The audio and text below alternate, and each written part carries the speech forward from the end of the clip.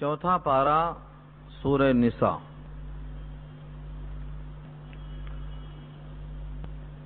پارے کا تیرہواں رکو ختم ہو کر چودہواں شروع ہو رہا ہے۔ اور سورہ نساء کا تیسرا رکو شروع ہو رہا ہے۔ یہاں سے مضمون ان عورتوں سے متعلق ہے جن سے معاشرے میں بناؤ اور بگاڑ کی کیفیت پیدا ہوتی ہے۔ اردو میں کہاوت ہے، زن، زمین، زر، تینوں جھگڑوں کی جڑ۔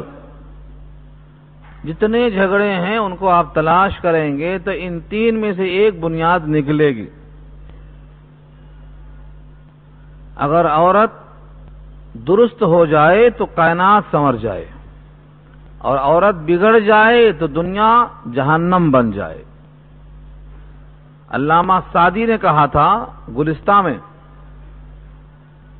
زینہار از قرین بد، زینہار وقینا ربنا عذاب النار۔ برے ساتھی سے اللہ کی پناہ ہم کو جہنم کی آگ سے بچا لے۔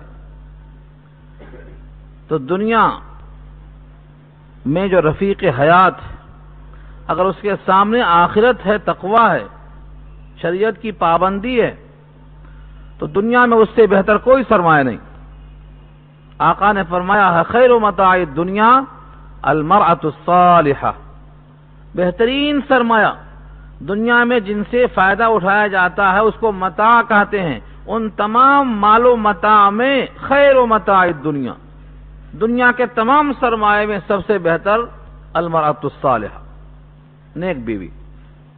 اور اگر نیک نہیں ہے، بیوی ہے مگر نیک نہیں ہے، تو سورہ تغابن میں اللہ نے کہا پارا اٹھائیس میں والمو انما اموالکم و اولادکم فتنہ اموال، اولاد فتنہ ہے۔ آگے چل کے فرمایا ازواجکم عدو لکم فحضرو تمہاری بیوی تمہارے حق میں دشمن ہے، ذرا اس سے بچتے ہوئے رہنا۔ اس کی ہاں میں ہاں ملاتے ملاتے کہیں جہنم میں نہ پہنچ جانا۔ آج کے عنوان کا خلاصہ ہے۔ پہلی آیت میں ایک خاص تذکرہ فرمایا، اس لیے کہ عام طور سے اوپر تذکرہ ہوا تھا، اللہ کی جو معاشیت کرے گا، رسول اللہ کی معاشیت کرے گا اور تجاوز کر جائے گا، اس کا داخلہ جہنم میں ہوگا، ہمیشہ رہے گا۔ اور اس کے واسطے یہانت والا عذاب ہے۔ حدود سے تجاوز کرنے کی مثال، تجاوز کس کو بولتے؟ اللہ نے یہ نہیں کہا کہ دنیا میں تم جائز طریقے سے جنسی تسکین حاصل نہ کرو، نہیں ہے قرآن و حدیث میں۔ اللہ نے منع نہیں کیا، حدود مقرر کی۔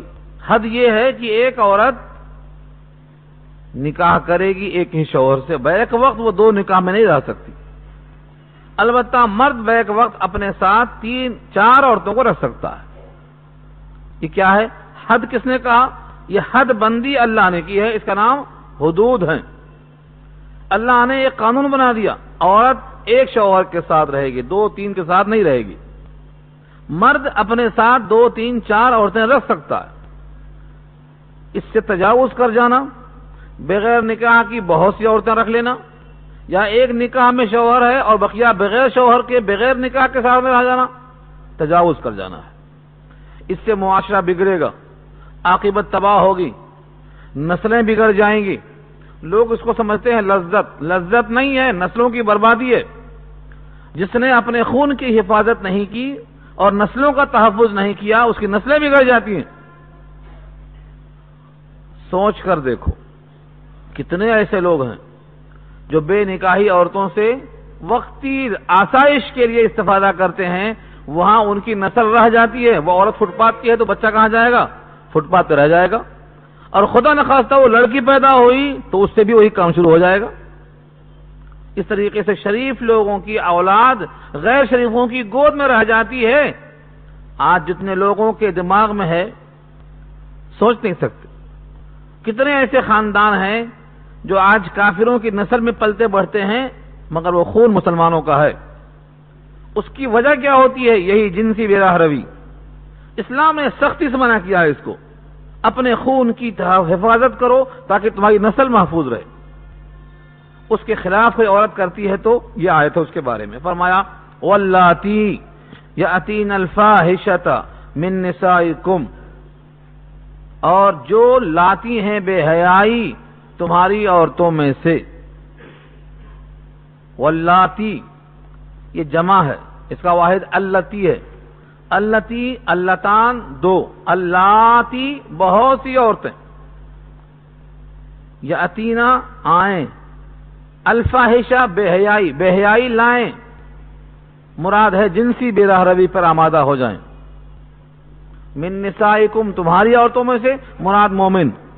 مومن اپنے سے۔ فستشہدو علیہن ارباتم منکم، تو تم استشہاد کے معنی گواہی طلب کرو۔ فستشہدو گواہی طلب کرو، استشہاد کے معنی گواہی مانگنا۔ علیہن ان کے خلاف یعنی پہلے مان لو، بعد میں گواہی طلب کرو، نہیں، پہلے گواہی طلب کرو۔ ہمارے معاشرے میں کیا ہے؟ پہلے دل میں یقین کر لیں گے، گواہی تلاش کریں گے بعد میں۔ اس سے معاشرہ بگڑتا۔ سن لیا، کانا پھوسی ہوئی۔ کسی نے کسی کے بارے میں کچھ کہہ دیا۔ دل میں یقین فوراً بیٹھ جاتا۔ ہاں بس ایسے ہی ہوا۔ اب اس کے بعد گواہیاں ہیں کہ نہیں ہیں بات کی چیزیں۔ تلاش کریں گے بعد میں، ثبوت بعد میں۔ لیکن اس آیت نے کہا نہیں۔ فسٹ شدو ارباتم منکم، تم میں سے پہلے چار گواہ اس کے خلاف طلب کرو۔ اگر کوئی چار گواہ طلب نہیں کرتا ہے تو کوئی گواہ نہیں، یا ایک ہے، یا دو ہے، یا تین ہے، چار گواہ نہیں ہے تو کیا حکم ہے؟ اللہ فرماتے ہیں کہ وہ جھوٹا ہے۔ ایک گواہی ہے، تب بھی جھوٹا۔ دو گواہی، تب بھی جھوٹا۔ تین گواہی، تب بھی جھوٹا۔ چار طلب کرو، تب تک جھوٹا۔ قرآن کریم میں سورہ نور پارا اٹھارہ، آیت نمبر دس اور گیارہ۔ مکمل پڑھ لیجیے۔ جناب عائشہ کی شان میں نازل ہوئی ہے۔ ان کی برات آسمان سے اتری ہے۔ لولا جاؤ علیہ بھی اربات شہدا فیض لمیا تو شہدا فولا کا عند اللہ اگر وہ چار گواہ نہیں لا سکے، تو اللہ کے ہاں وہ جھوٹے دنیا سچی مانتی ہے، مان لے۔ دنیا کے لوگ سچا سمجھتے ہیں، سمجھ لے۔ اللہ کی نگاہ میں وہ جھوٹے لولا جاؤ علیہ بھی اربات شہدا کیوں نہیں چار گواہ لائے؟ فیض لم یا تو بھی شہدا اگر چار گواہ نہیں فولا کا عند اللہ حمل جھوٹے اللہ کے نزدیک۔ سورہ نور کی اس آیت پر ایک حدیث مسلم کی۔ اور یہ حدیث ہمارے معاشرے میں پھیلانے کی سخت ضرورت ہے۔ اللہ کے حبیب محمد مصطفیٰ صلی اللہ علیہ وسلم، الفا الفا مرہ بے کل ذرہ کا ارشاد گرامی ہے، فرمایا، کفا بل مر ایک حدثا بکل ما سمیا جھوٹا ہونے کے لیے آدمی کو بس یہ کافی ہے کہ جو سن لے بیان کر دے۔ جو سن لیا، منہ سے نکال دیا، اس کے جھوٹا ہونے کے واسطے یہ کافی ہے۔ اور کذب منافقت کی ایک بٹے چار حیثیت رکھتی ہے۔ منافق میں چار صفتیں ہوتی ہیں، ان میں سے ایک صفت کیا ہے؟ کذب۔ اور اردو میں یا کے معنی میں ہے۔ روٹی یا چاول، ٹھنڈا یا گرم۔ کیا پوچھتے آپ؟ یعنی دو میں سے ایک۔ او تخیر کے واسطے آتا ہے، ٹھنڈا لیں گے یا گرم۔ مطلب دو میں سے ایک پیشکش کیجیے آپ، قبول کیجیے۔ تو یہاں اشارہ اسی کی طرف ہے، یا تو قید میں ڈال دو مرنے کے دن تک، یا اللہ کا حکم اگر آ جائے، اس کے مطابق کر لو۔ وہ حکم آ گیا قرآن میں۔ وہ حکم یہاں نہیں ہے۔ وہ دوسرے مقام پہ ہے۔ اگر وہ پوشیدہ ہے تو اردو کا ترجمہ دیکھ کے اگر لے کے پھرنے والے ہیں تو کیا کہیں گے؟ دیکھو، قرآن میں آیا ہے، قید کرو ان کو مرنے تک۔ ایک ہی آیت معلوم۔ بعض لوگوں کو ایک ہی حدیث معلوم۔ وہ ایک لے کے پھرتے۔ بخاری میں آگے دیکھو، یہ بخاری میں آگے ارے، وہ ایک آئی، مگر اس کے ساتھ اور بھی تو ہیں۔ اس باب میں وہ بھی دیکھو۔ نہیں، وہ نظر نہیں آتی۔ یہ آیت منسوخ ہے۔ پوری آیت نہیں، یہ ٹکڑا۔ اتوفا ہن الموت کا ٹکڑا منسوخ ہے۔ کون سی آیت سے منسوخ ہے؟ اسی صفحے میں آ رہی ہے۔ کیا الفاظ ہیں؟ اللہ نے فرمایا، اگر یہ ثابت ہو جائے، اگر یہ ثابت ہو جائے تو دو شکلیں ہیں۔ چار گواہ مل جائیں تو، بجائے قید خانے میں ڈالنے کے موت تک کے لیے دو شکلیں۔ وہ عورت شادی شدہ ہے کہ نہیں؟ شادی شدہ نہیں ہے، تو اس کو سو کوڑے مارو۔ اور شادی شدہ ہے تو پتھروں سے مار مار کے سنگسار کر دو، ختم کر دو۔ اتنا مارو کہ وہ ختم ہو جائے۔ یہ دو حکم آ گیا۔ اب قید خانے میں نہیں ڈالیں گے اس کو۔ اس آیت سے یہ آیت منسوخ ہو گئی۔ ازان یا تو ازانی فجلدو کل واحدت منہما میاتا جلدا میاتا جلدا سو کوڑے مارو۔ یہ سورہ نور کی آیت سے یہ آیت کینسل ہو گئی۔ لوگ کہتے ہیں قرآن کریم میں کینسلیشن ہے کیا؟ جس کو ہم منسوخ بولتے ہیں، ناسخ اور منسوخ۔ بہت سے لوگوں نے اختلاف کیا ہے اور بہت سے لوگوں نے تطبیق دی ہے، جوڑنے کی کوشش کی ہے کہ اس کا مطلب یہ، اس کا مطلب یہ۔ منسوخ نہیں۔ اس کے باوجود پانچ آیتوں پر امت کا اجماع ہے کہ یہ منسوخ ہے۔ حضرت شاہ ولی اللہ محدث دہلوی نے اصول تفسیر کی جو اہم کتاب ان کی الفوظ القبیر ہے، پانچ آیتیں پیش کی ہیں کہ اس پر امت کا اجماع ہے کہ یہ منسوخ ہے۔ اور جو اجماع سے ہٹ کر اختلافی ہیں، وہ تو سو میں ہیں۔ جب آیتوں میں تنسیخ ہو سکتی ہے تو حدیثوں میں بھی ہو سکتی ہے، اس کی معلومات بغیر رکھے بولنا یہی غلطی ہے۔ تحقیق کے بغیر نہیں بولنا چاہیے۔ اس واسطے کہا ہے، سن کے بول دینا جھوٹا ہونے کے واسطے کافی ہے۔ اسی واسطے کہا، تحقیق پر ہے۔ کچھ بھی بات کہنا ہے تو تحقیق۔ واللذان یاتیانها منکم فعاذوهما اور جو دو مرد ہوں، اوپر کیا تھا؟ واللاتی عورتیں۔ یہاں کیا ہے؟ واللذان یاتیان مرد آ گئے۔ واللذان یاتیانہما اور جو دو مرد لائیں، منکم، تم میں سے بے حیائی کو فعاذوهما تو ان کو اذیت پہنچاؤ۔ اذیت سے مراد کیا ہے؟ وہی سو کوڑے۔ اور اگر وہ شادی شدہ ہیں تو سنگسار۔ فَإِن تَابَا وَأَصْلَحَا فَأَعْرِضُوا عَنْهُمَا۔ پس اگر وہ دونوں توبہ کر لیں اور اپنی اصلاح کر لیں، تو ان دونوں سے اعراض کر جاؤ۔ فَإِن تَابَا، اگر دونوں توبہ کر لیں یعنی اللہ کی طرف متوجہ ہوں، اپنی غلطی پر نادم ہوں، گناہوں پر استغفار کریں، اور اس نیکی، اس برائی کو ختم کرنے کے واسطے کچھ نیکیاں وجود میں لائیں، وہ اسلحہ اور اپنی اصلاح کر لیں عنہما تو ان سے اعراض کر جاؤ۔ اب اس کا اہم نقطہ یہ ہے اعراض کیوں کر جاؤ؟ اصلاح کیسے ہو سکتی؟ توبہ کا مطلب ان اللہ حکان طواب الرحیمہ بے شک اللہ طواب ہے۔ طواب مبالغہ ہے، جسے قوال۔ طواب قوال۔ ایک قول بات کو بولتے ہیں۔ ایک بات کو بار بار بولتے ہیں نا، تو قوال بن گیا۔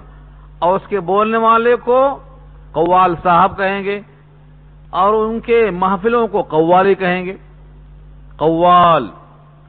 ایسے کہا یہاں پر طواب توبہ سے بہت معاف کرنے والا۔ کتنا معاف کرتا؟ کتنی بار؟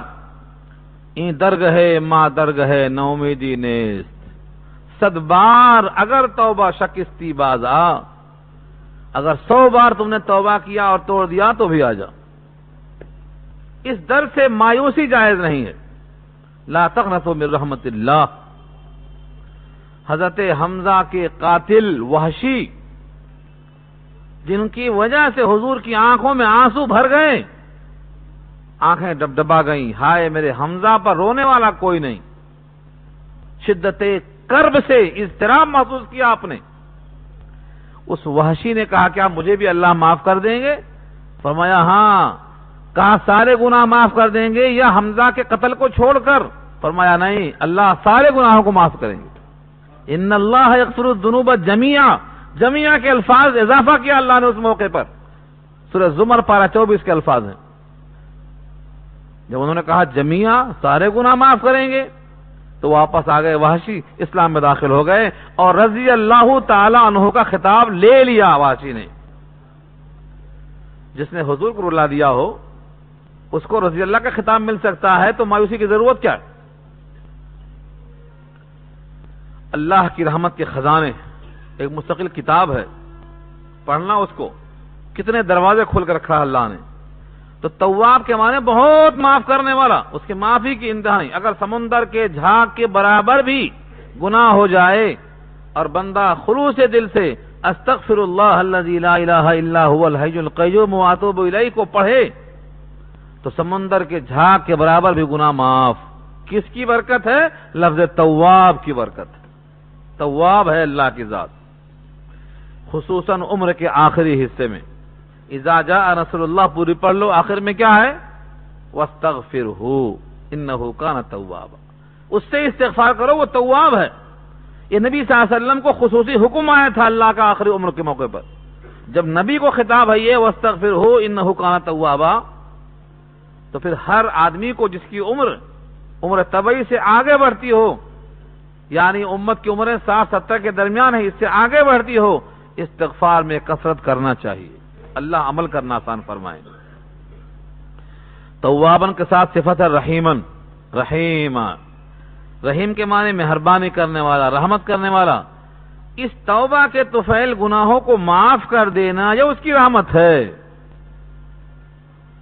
آپ تو دل میں پال لیتے ہیں، مرے دم تک نکلتا نہیں۔ کہتے ہیں، ہم طاقتور ہیں، کیسے کمزور پڑیں؟ ہم طاقتور ہیں، ہم کمزور نہیں پڑیں گے۔ اللہ سے بڑھ کر طاقتور کون ہے؟ مگر وہ معاف کر دیتا ہے۔ کیوں؟ مہربان ہے وہ۔ رحمان اور رحیم کی صفت کی وجہ سے۔ اس صفت کو اپنانا چاہیے۔ دل میں جو بات بیٹھ جاتی ہے، اس کو نکالنا اور اللہ کے فیصلے کو قبول کرنا۔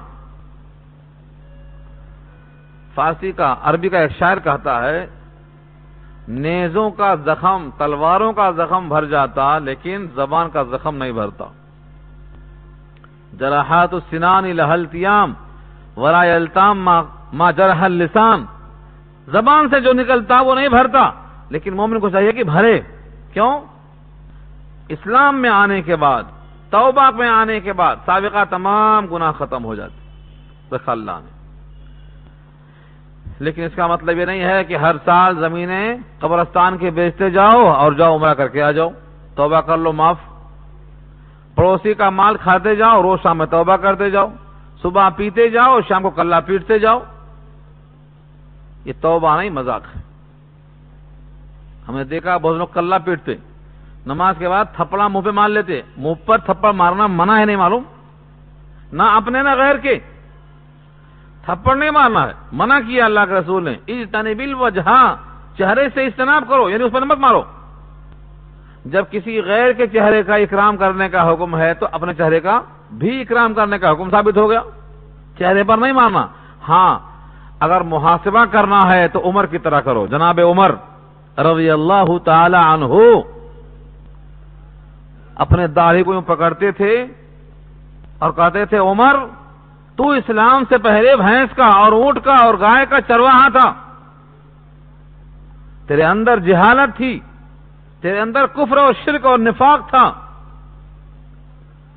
تو اسلام کی بدولت اور نبی کی صحبت میں رہ کر اپنے قلب سے کفر کو، شرک کو نکال کر مواحد بن چکا ہے۔ جو جہنم کا مستحق تھا، جہنم کے بجائے جنت کے حقدار بن چکا ہے۔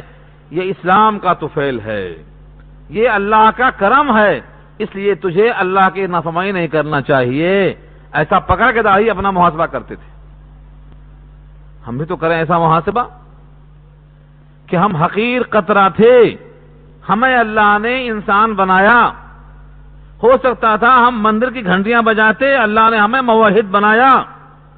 ہو سکتا ہم کسی اور کے ہاں پیدا ہو کر کفر شرک میں ہوتے، اللہ نے ہمیں امت محمدیہ کا فرد بنایا۔ ہو سکتا ہم کوئی اور کتاب پڑھتے، اللہ نے ہمیں کرام اللہ بخشا۔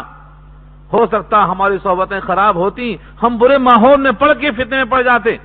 اللہ نے ہمیں صحیح مقام عطا فرمایا، اپنا ہاتھ اپنے داڑھی کو پکڑ کر محاسبہ کرو۔ یہ لکھا ہے جناب عمر کے بارے میں۔ کلے پیٹنا نہیں ہے۔ توبہ میں کلہ پیٹنا نہیں ہے۔ ہاں محاسبہ کر۔ جناب عمر کے ہی الفاظ ہیں۔ وہ فرماتے تھے اتنے پیارے بول ہیں، ایک ایک لفظ تولنے کے لائے حاسبوا انفسکم قبل ان تحاسبوا وزنوها قبل ان تؤذنوا۔ اپنا محاسبہ خود کرو، اس سے پہلے کہ حساب لیا جائے۔ اور اپنے نام اعمال کو خود توڑو اس سے پہلے کہ توڑا جائے۔ تو اپنا محاسبہ کیسے کرو گے؟ ایسا ہی کرنا۔ اللہ کی نعمتیں ہم پر کتنی ہیں؟ اور صبح سے شام تک ہم اللہ کی نافرمانیاں کتنی کرتے ہیں؟ ان دونوں چیزوں کو جوڑ لو۔ ہو جائے گا محاسبہ۔ تو یہ کب آئے گا؟ اللہ طواب بھی ہیں، اللہ رحیم بھی ہیں۔ ان دونوں چیزوں کا استحصال ہونا چاہیے۔ اللہ نے خود فرمایا، توبہ کس کی قبول ہوتی، کس کی نہیں؟ دیکھو، دو آیتیں آ رہی ہیں دونوں۔ پہلے میں یہ بتا دیا، توبہ کس کی قبول ہوتی؟ اور دوسرے میں کہا، کسی قبول نہیں ہوتی۔ دونوں یہاں موجود ہیں۔ قرآن تو پڑھو کھول کے۔ ان نمت اللہ۔ اس کے سوائے اور کچھ نہیں کہ توبہ قبول کرنا ہے اللہ کے ذمہ۔ ان نمت اللہ۔ اللہ کے ذمہ ہے توبہ قبول کرنا۔ کس کی لیکن؟ للذین یعملون السوء بجہالت ان لوگوں کی جو کرتے ہیں برائی جہالت سے، نادانی سے، غفلت سے، لا علمی سے۔ ثم پھر یتوبون من قریب جلدی ہی توبہ میں لگ جاتے ہیں۔ یتوبون من قریب، لفظ قریب پر زور دو۔ ہم کیا کرتے؟ نہیں نہیں۔ گناہ کرتے کرتے جب دیکھتے ہاتھوں میں راشا آ گیا، دانت گر گئے، منہ میں دانت نہیں، پیٹ میں آنت نہیں بھمے پک گئی اب لرزہ پر اندام، اب توبہ کرتے۔ تب تک جو چاہے کرتے رہتے۔ یہ نہیں کہا اللہ نے، کہا کہا من قریب، ثم یتوبون من قریب۔ مومن کو گناہ کے بعد فوری تمبو تنمبو ہو جاتا ہے۔ اچھا مجھ سے یہ غلطی ہو گئی۔ اپنی غلطی پر فوراً نادم، شرمندہ۔ اس کی تلافی کے واسطے فوری نیکیاں، صدقہ، نفل، خیرات۔ جب کپڑے پہ دھبا لگتا، کیا کرتے؟ فوراً صابن لگاتے۔ صفائی کے لیے۔ تو نام اعمال جیسے گندا ہوا، گناہ سے فوراً صفائی۔ توبہ، استغفار سے، خیر، خیرات سے، یہ ضروری ہے۔ تو پہلے شرط کیا رکھا؟ ثم یتوبون من قریب۔ توبہ کرتے ہیں جلدی۔ ہی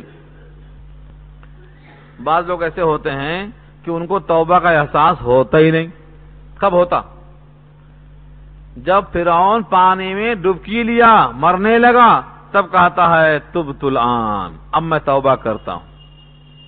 فرعون جیسا انسان، جس نے کہا تھا، میں رب آلہ ہوں ڈوب رہا ہے پانی میں۔ سورہ یونس پارہ گیارہ، کیا کہا اس نے؟ تب تلان اب میں توبہ کر رہا ہوں۔ اللہ نے کیا جواب میں کہا؟ آل، آن، اب کر رہا ہے توبہ۔ توبہ کرنے کا وقت نہیں ہے یہ۔ آل، آن وقت ایسا ہی من قبل وہ من المفسدین۔ اب کر رہا توبہ۔ فساد کرتے کرتے کرتے، جب حلق میں موت نے کھینچا ہے روح کو، اب توبہ کرتا ہے۔ اب توبہ قبول تم میں من قریب پہلی شرط یہ. اب کچھ لوگ پوچھ سکتے ہیں کہ مولانا صاحب، وہ تو ڈوبتے وقت توبہ کیا تھا، قبول نہیں ہوئی. لیکن توبہ قبول ہونے کی لمٹ کیا ہے؟ پچاس سال ہے سال ہے کہ ستر سال ہے کہ نبے سال ہے؟ ہے کیا لمٹ یہ میرے اللہ کی شان دیکھو. اللہ بندوں پہ رحیم اور رحمان ہے، اس کی شان دیکھو. کیا کہا؟ فلولا کانت قریت آمنت، فنفاها ایمانها الا قوم یونس لما آمنوا کشفنا عنهم عذاب الخزي في الحیات الدنیا ومتعناهم الہین قوم یونس کو جتنا توبہ سے فائدہ ہوا، کسی قوم کو نہیں ہوا. یونس علیہ السلام چلے گئے. تین دن کے بعد عذاب آنے والا تھا وارننگ دیکھے، چلے گئے. اب قوم نے ڈھونڈا، کہاں ہے یونس؟ کہاں ہے؟ وہ تو چلے گئے. نہیں ہے. دیکھا اوپر آسمان پہ بادل، کالے کالے دھوئیں، ڈر گئے۔ عذاب کے آثار کو دیکھا، عذاب آیا نہیں تھا ابھی۔ عذاب کو نہیں، عذاب کے آثار کو دیکھا۔ رونا، پیٹنا، چلانا، چیخنا شروع کر دیا۔ اللہ کو رحم آ گیا، عذاب واپس چلا گیا۔ اور قوم کے اس رونے کی وجہ سے حضرت یونس کو مچھلی کے پیٹ میں گرفتار کر دیا۔ کہا قوم کو چھوڑ کے جاتے کہاں ہو بغیر پوچھے ہوئے؟ قوم کو چھوڑ کر جانے سے گرفتار ہو گئے۔ کہاں گرفتار ہو گئے؟ مچھلی کے پیٹ میں۔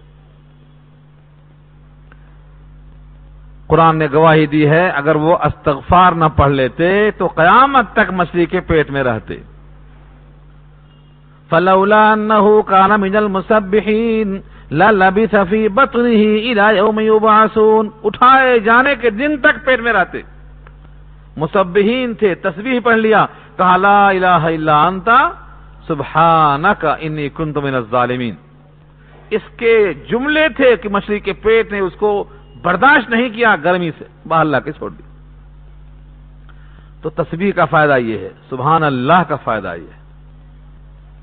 قوم کو فائدہ پہنچا۔ اور آپ چلے گئے بلا عذاب کو آئے ہوئے، اس لیے وہاں مواخذہ ہو گیا۔ تو یہ لمٹ رکھا اللہ نے توبہ کے قول ہونے کی۔ لیکن ہمیں نہیں معلوم کہ ہم بادل دیکھیں گے، دھواں دیکھیں گے، تب توبہ کریں گے یا راستہ جاتے جاتے مر جائیں گے۔ لوگ سردی میں مر جا رہے ہیں، بیٹھے بیٹھے مر جا رہے ہیں۔ اچھے خاصے نوجوان گھر سے نکلتے ہی مر جا رہے ہیں۔ کیوں؟ ایکسیڈنٹ ہو گیا۔ بہانا آئیے تو موت کو اور اس کے اسباب کو، اس کے آثار کو انتظار مت کرنا۔ توبہ، ہر عام توبہ۔ اسی واسطے دن میں پانچ نمازیں ہیں اور ہر نماز کے دو رکعت جب آپ بیٹھتے ہیں تو ظلم تو نفسی ظلم کثیرہ، یہ پڑھتے ہیں، یہ توبہ ہے۔ توبہ ہے یہ۔ اس لیے فرمایا سما یتوبون من قریب۔ مومن فوراً توبہ کرتا ہے۔ فلاحب اللہ علیہم۔ بس وہی لوگ ہیں کہ اللہ ان پر متوجہ ہوتا ہے یعنی ان کی توبہ قبول کر لیتا ہے۔ معلوم کیا ہوا؟ جن کو توفیق مل جائے، توبہ کی۔ اللہ سے امید رکھو کہ اللہ بھی اب متوجہ ہیں، توبہ قبول کر لیں گے۔ کچھ آیتیں قرآن کریم میں ایسی ہیں کہ ان کے پڑھنے کے بعد اگر فوری متوجہ ہو جائیں توبہ کی طرف، اسی آیت کا واسطہ دے کر۔ کہ آپ نے تو کہا ہے توب اللہ علیہم۔ اللہ فوری آپ کی توبہ قبول کر لیں گے۔ آپ کے گناہوں کو معاف کر دیں گے۔ اس لیے ایسی آیتوں پر گزر کر ٹھہر کر اللہ سے توبہ چاہ کر آگے بڑھنے کا حکم ہے۔ وکان اللہ علیمن حکیمہ اور اللہ ہے علم والا، حکمت والا۔ علم کو یہاں کیوں لائے؟ اوپر نہیں تھا، اوپر طواب اور رحیمہ یہاں کیا ہے؟ علم۔ علیم اور حکیم دو صفت لائے۔ علم کے معنی جاننا۔ جانتے ہیں وہ کہ توبہ سچی ہے یا خالی کلّا پیٹنے کی ہے۔ یہ ہے اصل۔ علم۔ کون سا علم؟ علم ظاہر نہیں۔ حقیقی قلبی کیفیت وہ جانتے ہیں کہ یہ توبہ تڑپ کے ہو رہی ہے یا دکھاوے کی ہو رہی ہے۔ ہاں رند کے رند رہے، ہاتھ سے جنت نہ گئی۔ پیتے رہے اور جنتی بھی رہے۔ کیسے؟ توبہ اوپر سے، اندر خواہش باقی۔ فارسی کا شاعر کہتا ہے برزباں تسبیح، در دل گاؤ خر۔ بر زبان تسبیح کے معنی زبان پر سبحان اللہ سبحان اللہ۔ اور در دل گاؤ خر، اور دل میں کیا ہے؟ گائے ہے، گدھا ہے، گھوڑا ہے، دولت ہے۔ اینچنی تصویر قے دارد اثر۔ اس قسم کی تصویر کہاں اثر رکھے گی؟ تو یہ علیم بتانا ہے۔ علیمن حکیمن وہ علم والا ہے، جانتا ہے کہ توبہ سچی ہے، دل میں جوش اور فریاد ہے، توبہ قبول ہوتی۔ جوش ملا، فریاد نہ کر۔ تاثیر دکھا، تقریر نہ کر۔ کیفیت پیدا ہوتی ہے تو اللہ تعالیٰ کو معلوم ہے، علیم ہے وہ۔ اور حکیم ہے حکمت والے ہیں۔ اگر معلوم ہے کہ یہ بندہ فریب کرتا ہے، تب بھی پردہ پوشی کرتے ہیں، چھپاتے ہیں۔ چلو آج نقل کرتا ہے، کل شاید اصل ہو جائے۔ آج خالی نماز میں آ گیا ہے رکو سجدہ کر لیا ہے، کچھ بھی نہیں پڑا خالی کھڑا تھا نماز میں۔ نہیں معلوم؟ کتنے لوگ ایسے ہیں دیکھو، نماز میں آئے کھڑے ہو گئے، خالی اونگتے رہتے، ختم ہو گئی نماز۔ کچھ نہیں پڑھتے۔ ولا اللہ اللہ کلیلہ سبحان اللہ ایک دفعہ، اللہ ایک دفعہ ختم۔ کچھ بھی نہیں پڑھے۔ خالی کھڑے ہیں۔ کیا مطلب؟ کیفیت سے خالی۔ کیفیت سے خالی۔ بہت سے لوگ ایسے ہوتے ہیں۔ تصور میں کچھ اور آ جاتا، بس کھڑے رہتے۔ نماز ختم ہو گئی، وہیں رہتا جمع تو اللہ تعالی کا علم، اللہ کی حکمت ان دو صفتوں کو یہاں پر کھا آج نہیں ہے، صحیح نماز، کل شاید صحیح نماز ہو جائے، اللہ چھپاتے ہو اس کو۔ اب توبہ کس کی نہیں ہے؟ ولی ستی توبہ تو للذین یعملون السیئات جو کرتے رہتے ہیں برائیاں حتی اذا حضر احدہم الموت۔ یہاں تک کہ جب حاضر ہو جائے ان میں سے کسی کو موت، قال تو بولتے ہیں، انی تبت الان، اب میں توبہ کر رہا ہوں۔ انی تبت الان، اب توبہ کر رہا ہوں۔ اللہ کیا فرماتے ایسوں کی توبہ قبول نہیں۔ وللذین یموتون وهم کفار، اور نہ ان کی توبہ قبول جو مرتے ہیں حالت کفر میں۔ اولئک اعتدنا لهم عذابا علیما وہی لوگ ہیں کہ ہم نے تیار کر دیا ہے ان کے واسطے المناک عذاب۔ تو حالت کفر میں موت نہ آئے، تمنا رکھنا اس کی۔ خاتمہ ایمان پر ہو، یہ تمنا۔ سب سے زیادہ دعا کرانے کے واسطے بھی دعا کرو مول صاحب۔ کس کے لیے دعا کرو؟ نوکری کے لیے، شادی کے لیے، وہ زمین بکنے کے لیے۔ یہ دعا کراتے۔ یہ دعا کرانا کہ خاتمہ ایمان پر ہو۔ کیوں؟ خاتمہ ایمان پر ہوا تو یہ دنیا کے برابر نہیں، دنیا سے دس گنا زیادہ جنت ملے گی، کم سے کم۔ وہ دعا کرو۔ دولت ہونا ہے تو وہ دعا کرو، وہاں ملتی۔ جہاں سب محتاج ہوں گے، وہاں کے واسطے کرو۔ یہاں تو فقیر بھی کھاتا، امیر بھی کھاتا۔ ہاں کوئی لذیذ کھاتا، کوئی سوکھا روکھا کھاتا۔ مگر وہاں ایک قطرہ پانی نہیں ملے گا اور ایک روٹی کا ٹکڑا بھی نہیں ملے گا۔ وہاں کے واسطے دعا کراؤ۔ سورہ آراف کی آیت کیوں بھول جاتی ہے؟ جنت والے، جہنم والے، سلام کلام نہیں، مانگیں گے سیدھا سیدھا۔ ونادا صحاب النار صحاب الجنہ ان افیز ولینا من الماء۔ کیا کہیں گے؟ ان افیز ولینا من الماء۔ تھوڑا پانی پھینکو۔ روٹی کا ٹکڑا پھینکو۔ کیا کہیں گے وہ؟ ان اللہ حرمہما عدل روٹی کا ٹکڑا بھی، پانی کا قطرہ بھی دونوں حرام کیا اللہ نے۔ تو وہاں کے واسطے دعا کرایا کرو، یہاں کے واسطے نہیں۔ یہ مومن کی شان۔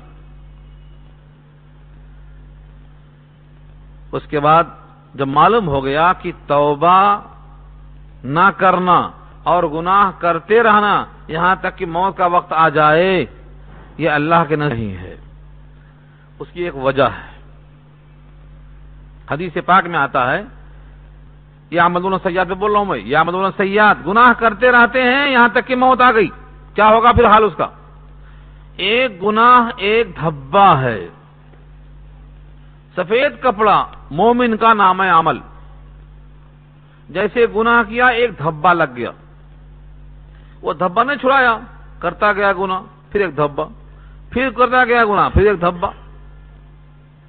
یہاں تک کہ دھبا پڑتے پڑتے پورا دل سیاہ ہو گیا۔ اب اس میں حق داخل کیسے ہوگا؟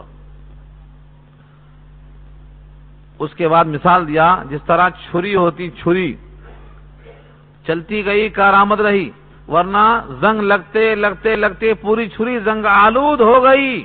اب اس سے وہ کام نہیں ہوگا جو ہوتا تھا۔ تو مومن کے قلب کو اللہ نے آئینہ بنایا ہے۔ دھبا لگتے لگتے پورا دھبا پڑ جاتا۔ اب اس آئینے میں شکل نظر نہیں آتی۔ اچھی ہے کہ بری؟ برائیوں کو اچھا ہی سمجھتا ہے، کرتا چلا۔ موت کی کیفیت تاری ہونے کے وقت بھی توبہ کی توفیق نہیں ہوتی۔ جس کو بدعا دینا ہے، یہی بدعا کرنا کہ اس کا خاتمہ ایمان پر نہ ہو۔ اور جس کو دعا دینا ہے، یہ دعا دینا کہ اس کا خاتمہ ایمان پر ہو۔ اس سے بڑی دعا نہیں، اس سے بڑی بد دعا نہیں۔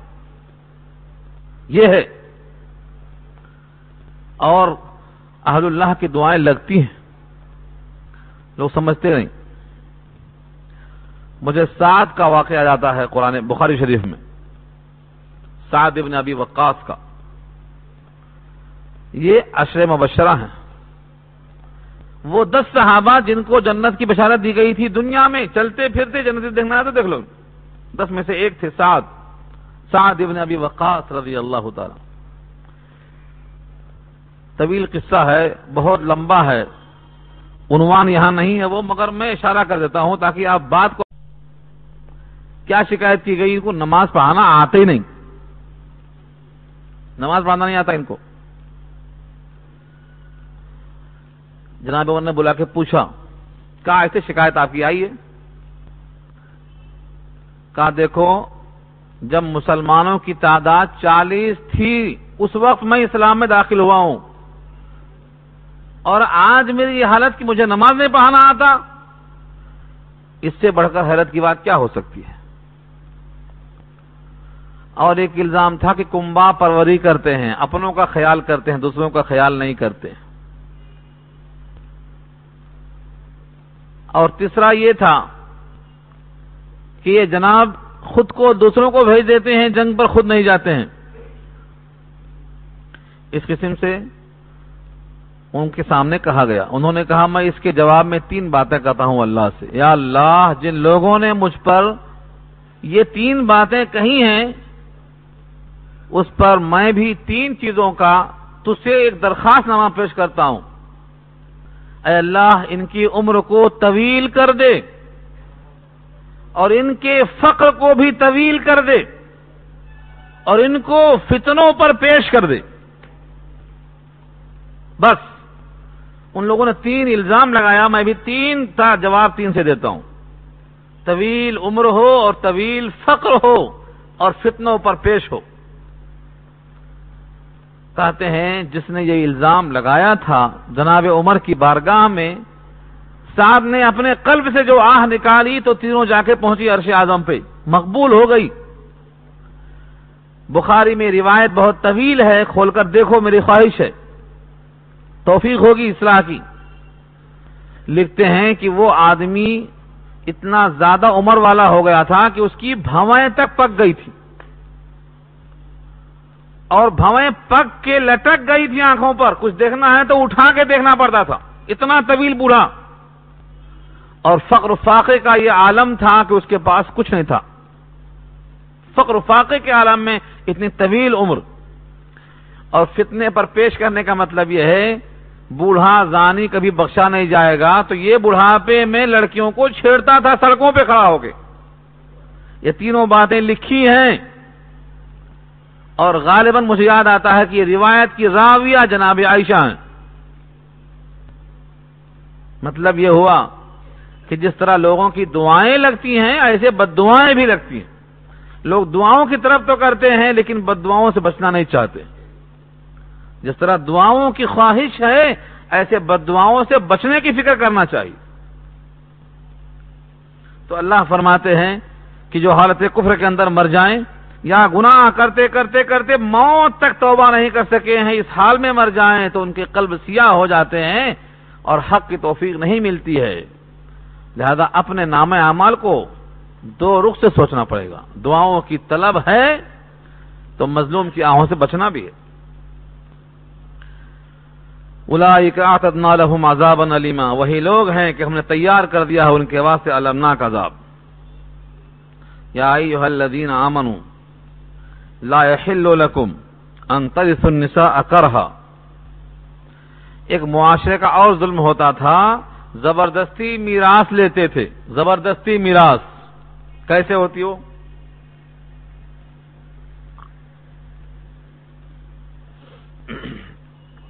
ایک عورت کے پاس مال بہت ہے۔ کالی کلوٹی ہے، بوڑھی ہو چکی ہے۔ اس کی طرف کوئی اشتہا نہیں۔ اس لیے نکاح کرتا ہے کہ اس کا پورا مال مجھے ملے۔ تو مرنے والی ہے، بڑھیا، جانے والی ہے، کبھی بھی اپنے کو گھٹتا پورا مال۔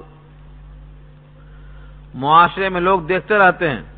ایسی کوئی بڑھیا ہے کیا؟ مال بہت زیادہ ہے۔ حالانکہ وہ کسی کام کی نہیں، اس سے نکاح صرف اس لیے کرے گا کہ اس کا پورا مال منتقل ہو جائے۔ حالانکہ پورا مال منتقل نہیں ہوگا، شوہر بنے جائے گا، تو ایک بٹے چار ملے گا، اولاد نہیں ہے تو۔ اولاد ہے تو ایک بٹے ایک بٹے چار ملے گا یا آدھا ملے گا؟ دو شکلیں ہیں اس کی۔ اولاد ہے تو ایک بٹے چار اولاد نہیں ہے تو آدھا۔ تو اس نیت سے نکاح کر لینا کہ جبرن اس کا میراث ہم کو مل جائے، اللہ کو یہ بات پسند نہیں۔ نکاح کو مال کا دریا مت بناؤ۔ یہ ہے۔ کسی سے نکاح اس نیت سے نہ ہو کہ اس کا مال منتقل ہو جائے۔ اگر بڑھیا سے منع ہے اس نیت سے، تو کیا جوان سے جائز ہے اس نیت سے؟ بوچو سمجھ کر دیکھو۔ آج لوگ تلاش کرتے ہیں رشتہ، تو کیا بولتے ہیں؟ ایسی لڑکی ہو، اکلوتی بیٹی ہو۔ کیوں؟ پورا آ جائے سمجھ کے۔ اکلوتی بیٹی، تلاش کرتے لوگ۔ کانی بھی ہے، لنگڑی بھی ہے، تو بھی چلتی، مگر اکلوتی ہونا۔ جو چار، چھ، پانچ رہیں گے تو تقسیم ہو کے آئے گی بھائیاں رہیں گے تو پورا سمیٹ لیں گے۔ اکلوتی۔ یہ مزاج بن چکا ہے۔ تو اگر نکاح کے ذریعے سے مال آنے کی طلب ہے، نیت فاسد۔ نیت خراب ہو گئی۔ مال آئے گا، لیکن وبال ساتھ آئے گا، اس نیت بد کی وجہ سے۔ یہی کہا گیا اس آیت میں، یا جو الذین آمنو، اے وہ لوگ جو ایمان لائے ہو، لا يحل لکم، نہیں ہے حلال تمہارے لیے۔ انترث النساء، کہ تم وارث بن جاؤ عورتوں کے کرہن زبردستی۔ کرہن کے معنی زبردستی۔ کیسے ہوتا؟ یہی شکل ہے۔ ایک عورت آپ سے نکاح نہیں کرنا چاہتی، مگر آپ چاہتے ہیں، کیوں؟ دل میں یہ ہے۔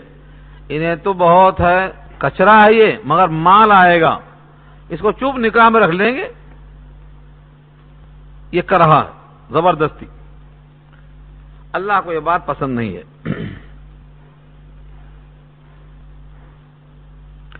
اور ایک شکل ہے۔ جتنا عورت کو حصہ ملنا چاہیے، اس کا اتنا حصہ نہ دینا۔ اس کا حصہ بھی رکھ لینا۔ یہ کیا ہے؟ کرہا میں آتا۔ جب سے محکمہ شریعہ میں بیٹھنا شروع کیا، کثرت سے لوگ آ کے پوچھتے، بہن کا حصہ ہوتا، کتنا ہوتا؟ یہ اگر نہیں دیے تو کیا ہوتا؟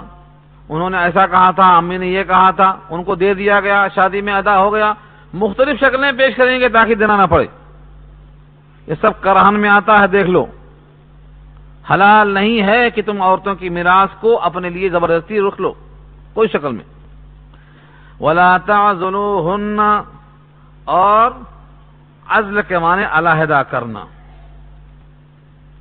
ولا تعذلوهن اور ان عورتوں کو اس غرض سے مقید مت کرو کہ جو کچھ تم لوگوں نے ان کو دیا ہے، اس کا کوئی حصہ وصول کر لو۔ جس کو آپ کہتے ہیں طلاق علا مال، خلا جس کو بولتے ہیں۔ کیا ہوتا؟ ایک عورت کو تنگ کرتے۔ پہلے بولتے، جا کے گھر سے پیسہ لے کے آؤ۔ نہیں لائی نہیں لائی نہیں لائی۔ اس کو اتنا تنگ کرتے کہ وہ بولتی تو مجھے چھوڑ دو۔ اب ہاں ایسا کہاں چھوڑتے؟ ولیمہ کرنا پڑا تھا، خرچہ ہوا تھا۔ ہاں رک کے چھپے تھے پریس میں کام ہوا تھا۔ دنیا کے بخیر سنا کے۔ میرا شادی میں دو لاکھ خرچ ہوا تھا۔ تم دو لاکھ دو تو تم کو چھوڑ دیتا ہوں۔ یہ کیا ہے؟ یہ اتنا تنگ کرنا، اتنا تنگ کرنا کہ وہ طلاق علا مال پہ راضی ہو جائے۔ خلا پہ راضی ہو جائے۔ یہ ہے ٹکڑا۔ ولا ذلو ہننا لتاظیما آئی تم یہاں تو کم بتایا گیا۔ کیا جملہ دیکھو۔ ولا ذلو اور مت علیحدہ کرو ان کو تاکہ لے لو۔ بعض اس میں سے جو تم نے ان کو دیا ہے، جو تم نے مال بطور مہر کے دیا ہے، اس میں سے کچھ مت لے لو۔ مگر ہمارے پاس کیا ہے؟ مہر باندھیں گے پانچ ہزار۔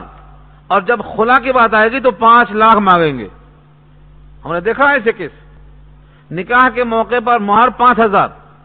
اور جب تنگ کریں گے بیوی کو طلاق مانگے گی تو کہیں گے خلا کے طور پر پانچ ہزار نہیں، پانچ لاکھ دیے تو چھوڑتا ہوں۔ یہ کیا شرارت ہے؟ یہ شرنگیزی ہے۔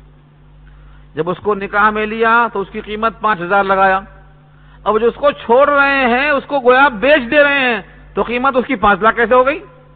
استعمال سے پہلے سستی، استعمال کے بعد مہنگی ہوتی کیا؟ یہ سراسر اسلام کے خلاف یہ ٹکڑا بتایا گیا بھائی۔ ہاں ایک شرط ہے۔ اللہ مگر اتینا بفاحشت مبینہ۔ اگر وہ کر دیں کوئی بے حیائی کھلی ہوئی۔ کھلی بے حیائی کا مطلب کیا ہے؟ شوہر سے تعلق نہ رکھ کر غیروں سے تعلق رکھیں۔ شوہر سے روکھا لہجہ ہو اور غیروں سے میٹھا لہجہ ہو بات کرنے کا۔ اپنوں کے ساتھ چھپنا ہے اور غیروں کے ساتھ برہنا پھرنا ہے۔ اس کو کہا، بے فاشت مبینہ۔ کھلی بے حیائی۔ اس شکل میں حکم ہے کہ ان کو علیحدہ کرو۔ مال لے کر بھی طلاق دینا جائز ہے، لیکن مال کی مقدار مہر سے بڑھنا ہرگز جائز نہیں ہے۔ جو مہر دی گئی ہے، اسے زیادہ لے کر خورا دینا یہ ظلم ہے۔ وہ آشرو ہن بل معروف اور رکھو ان کو دستور کے مطابق۔ دستور کیا ہے؟ ہر ایک اگر اپنا حق مانگے اور دوسروں کا حق ادا نہ کرے تو جھگڑا پیدا ہوتا ہے۔ اگر ہمیں ہمارے فرائض یاد ہوں اور حقوق بھی تو جھگڑا نہیں ہوگا۔ ہوتا یہ ہے کہ ہم فرائض بھول جاتے اور حقوق یاد رکھتے۔ بیوی ہے، اسے کھانا پکانا چاہیے، کپڑا دھونا چاہیے، خدمت کرنا چاہیے، میرے ماں باپ ہیں، یہ کرنا چاہیے، یہ سب کیا ہیں؟ یاد آ رہے ہیں، حقوق۔ لیکن ذمہ داریاں کہ یہ بے دن نہ ہونے پائے، اس کو دیندار بنانا چاہیے، اسے قرآن سے غافل نہ ہونے دیا جائے، یہ ذمہ داریاں، یہ یاد نہیں آتی۔ پارکوں میں لے کے جائیں گے، لیکن قرآن کریم پڑھنے کی جگہ پر نہیں لے کے جائیں گے۔ کہیں گے وہاں کیا سکون، گھنٹہ بیٹھے رہو، کچھ بھی نہیں۔ نہ تفریح ہے، نہ کھیل ہے، نہ کود ہے، نہ ہنگامہ ہے، نہ کوئی دل تفریح کا سامان ہے۔ خوش کے ہے بالکل۔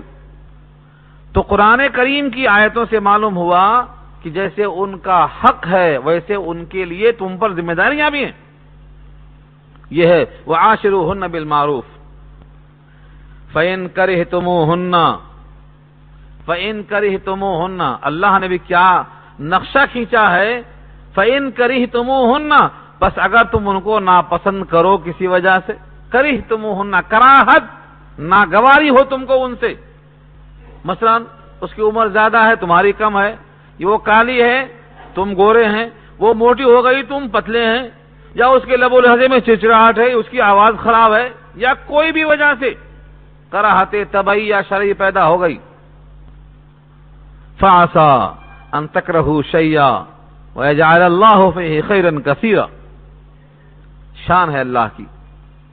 اس جملے پر غور کرو اور سر پکڑ کے سوچو۔ فرمایا، پس ان قریب یہ ہو سکتا ہے کہ تم ان کو ناگوار سمجھتے ہو اور تمہارے لیے اللہ نے اس میں بہت خیر رکھا ہو. کیوں؟ تمہاری عقل محدود ہے، تمہارا فیصلہ محدود ہے، تمہاری نگاہ محدود ہے۔ تم سمجھتے ہو کہ ہمارے واسطے خراب ہے کبڑا ہے، کچرا ہے۔ لیکن ہو سکتا ہے، اسی میں خیر ہو اور تمہیں خبر نہ ہو۔ مثلا دنیاوی لحاظ سے بولتا ہوں۔ دنیاوی لحاظ سے کوئی آدمی جب شادی کرے گا تو کہے گا، خوبصورت ہے کیا؟ مال ہے کیا؟ اور خاندان مناسب ہے کیا؟ اس کے بعد دیکھے گا، کنواری ہے کہ بیوہ ہے، کہ متعلقہ ہے کہ شوہر مرا ہوا ہے، کیسی ہے؟ کیا کرتا بھائی؟ کنواری کو ترجیح دیتا ہے کہ یہی سب سے اچھی ہے۔ حکم بھی وہی ہے، حکم ہے، مگر مقدرات دیکھو۔ نبی صلی اللہ علیہ وسلم کی جتنی بیویاں تھیں، گیارہ میں سے کسی سے کوئی اولاد ہوئی سوائے جناب خدیجہ کے؟ خدیجہ کی عمر چالیس سال، آپ کی پچیس سال۔ بیوہ ہے دو شوہروں سے، ساری اولاد خدیجہ سے پیدا ہوئی۔ بقیہ کسی عورت سے پیدا نہیں ہوئی۔ ہاں دو باندیوں سے پیدا ہوئی، ان کا ذکر نہیں کرتا ہوں کہ وہ نکاح میں تھیں، باندیاں تھیں وہ۔ باندیوں سے الگ مسئلہ۔ ساری ازواج متحرات میں سے صرف ایک جناب خدیجہ ہے جن سے اولاد ہوئی۔ اولاد کا ہونا ہی خیر ہے۔ اللہ نے کہا اولاد خیر ہے۔ کیوں؟ وہ ذریعہ خیر ہے، سبب خیر ہے۔ اولاد نہ ہو تو کس کی تربیت دیں گے آپ؟ اور کس کے بسم اللہ الرحمن الرحیم سے آپ کو سواب پہنچے گا؟ بچہ آپ کے حق میں جب دعا کرے گا تو آپ کے لیے نور بنے گا۔ بچہ ہی نہیں ہے تو کیا کریں گے؟ تو اولاد کو اللہ نے خیر کہا، جیسا مال کو خیر کہا اللہ نے۔ تو ہو سکتا ہے کہ تم نے اسے خراب سمجھا ہو، تمہارے واسطے ناگواری کا باعث ہو، لیکن تمہارے واسطے اللہ نے وہاں پر خیر رکھا ہو۔ تو صرف گورا چمڑا مت دیکھو، اللہ کی یہ تفصیل ہے یہ۔ کہا اللہ نے، دینداری کو مقدم رکھو۔ دینداری کو مقدم رکھیں گے تو آخرت بنے گی، اولاد صالح پیدا ہوگی، تمہاری زندگی میں چڑچڑاہٹ نہیں آئے گی، تم کو سکون اور امن نصیب ہوگا۔ کیسے؟ سیرت دیکھو، سورت کے پہلے سیرت دیکھو۔ حسن سورت اور حسن سیرت دو چیزیں ہیں۔ حسن سورت چند روزہ، حسن سیرت مستقل۔ ہے، سوچ کر دیکھو۔ شباب گیا تو سا گیا حسن پورا۔ شباب تک باقی ہے وہ۔ تو حسن سورت چند روزہ، حسن سیرت مستقل۔ اس سے خوش ہوتی ہے آنکھیں، اس سے خوش ہوتا ہے دل۔ اس لیے سوچنا چاہیے آدمی کو۔ نبی پاک کا مشورہ بھی یہی تھا کہ کبھی کوئی مال دیکھتا، کوئی جمال دیکھتا، کوئی خاندان دیکھتا، کوئی دینداری دیکھتا امتیوں تم کو میرا مشورہ ہے، دینداری کو دیکھ کر ترجیح دینا۔ یہ مشورہ حضور کا کون مانتا ہے اس زمانے میں؟ حضور نے مشورہ کس کو دیا ہے؟ کس نیت سے دیا ہے؟ کیا ارادہ تھا آپ کا؟ الفاظ سنو نبی صلی اللہ علیہ وسلم کی مشکات کھول کر دیکھو۔ کتاب النکاح کے اندر تن کا حلمر اتولی اربائن نکاح کی جاتی ہے عورت چار وجہوں سے۔ تن کا حلمر اتولی اربائن ولی حسبی ہا ولی مالی ہا ولی جمالی ہا ولی دینیا چار چیزیں۔ فضفر بذات الدین، کامیابی حاصل کرو تم دینداری کو دیکھ کر۔ تری بت یداک، تیرے ہاتھوں کو مٹی لگے یعنی اگر تو نے میرا مشورہ نہیں مانا تو جھک مراؤ جا کے۔ یہ ہے مطلب انداز کا۔ تریبت یداک، ایسا ہی ہے۔ جیسے اردو ہم کہتے ہیں جھک بناؤ جا کے۔ یعنی جو کرنا کرو اب بک تو پھر۔ کور کچہری جاؤ، خلا میں جاؤ، طلاق میں جاؤ، جھگڑے میں جاؤ، پنچایتوں میں جاؤ۔ جاؤ جہاں جانا ہے، وہاں جاؤ۔ دینداری کو دیکھ کر آگے بڑھو گے، انشاءاللہ اللہ آفیت ملے گی، امن ملے گا۔ سکون ملے گا، خاندان میں عزت ملے گی، راحت ملے گی۔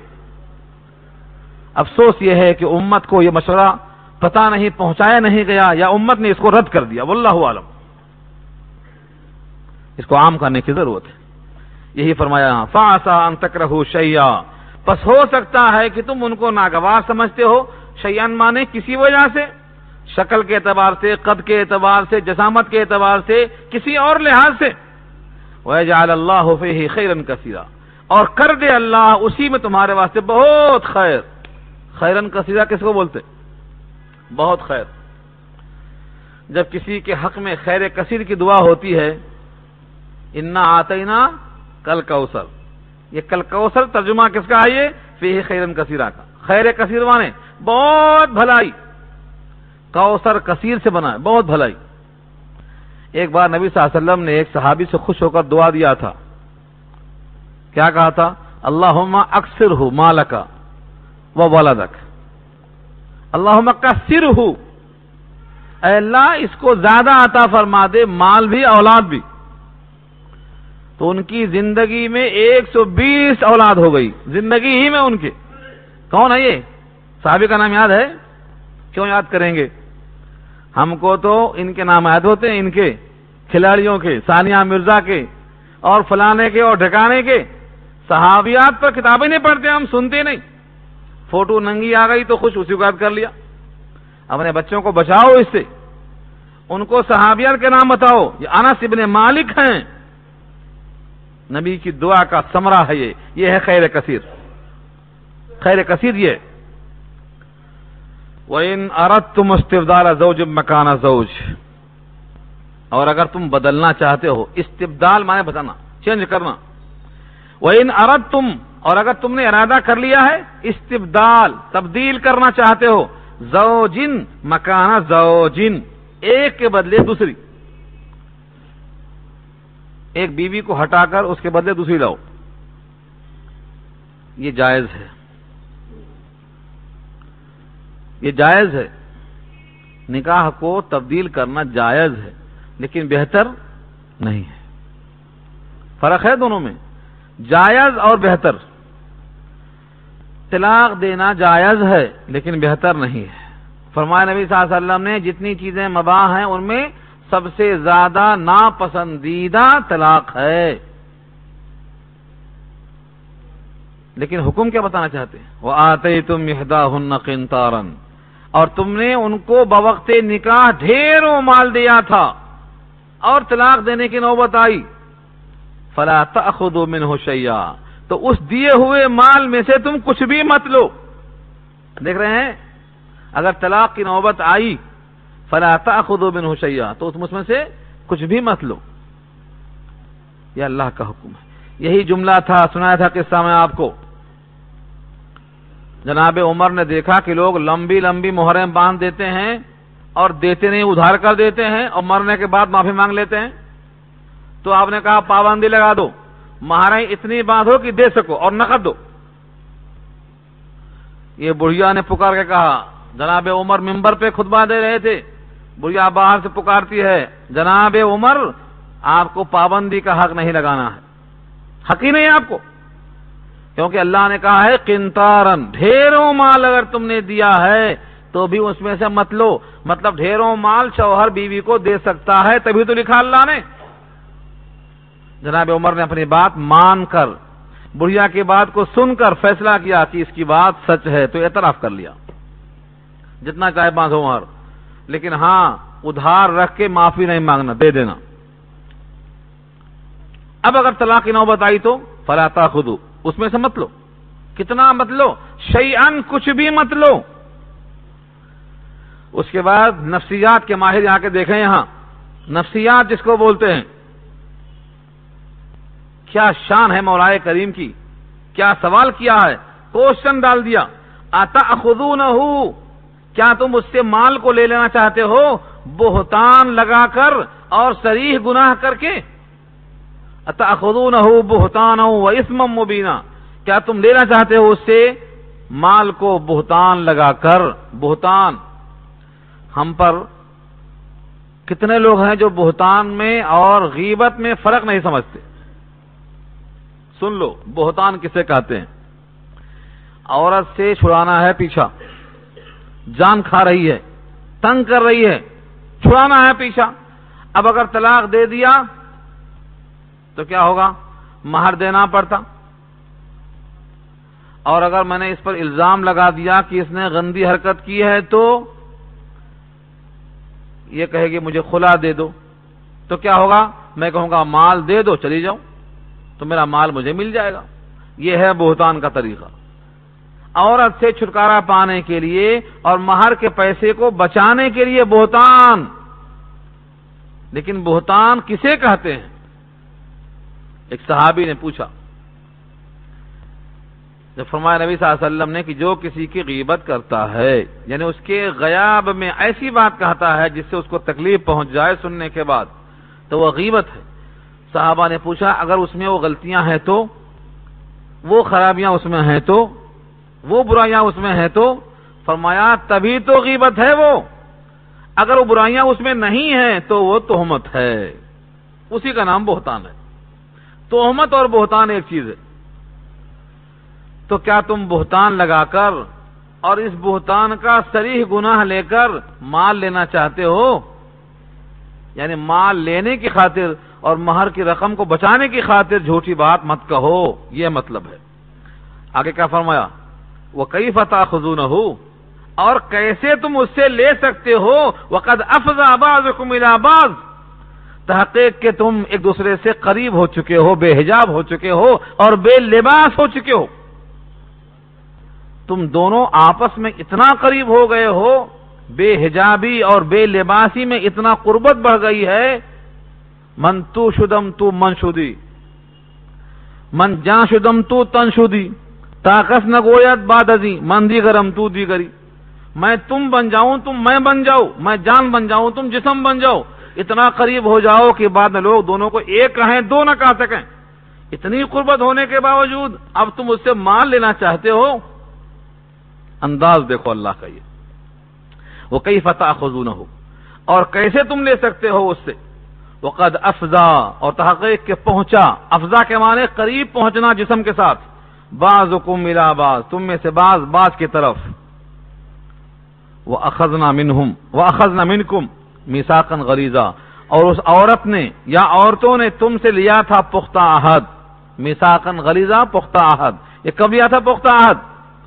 بوقت نکاح جب تم نے قبیلتوں کہا تھا، تو قبیلتوں کا مطلب تمہارا کپڑا میرے ذمہ، تمہارا کھانا میرے ذمہ، تمہاری عاقبت کی فکر میرے ذمہ، تمہاری اولاد کی فکر میرے ذمہ۔ یہ ہے۔ اور اشارہ ہے۔ اور اشارہ کیا ہے؟ جب دونوں کے جوانی کا شباب کا۔ ابتدائی مرحلہ ہوتا ہے قربت کا، تو بولتے ہیں تم بہت اچھے، وہ کہتے ہیں تم بھی بہت اچھے۔ دونوں میں قسمیں ہوتی ہیں، معاہدے ہوتے ہیں، ارمان کا اظہار ہوتا ہے۔ اور کہتے ہیں تم سے میں کبھی جدا نہیں ہوتا، تم سے میں کبھی علیحدہ نہیں ہوتی۔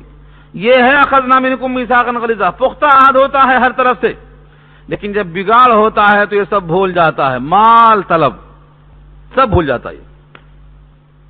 یہ اشارہ ہے یہ ہوتا ہے۔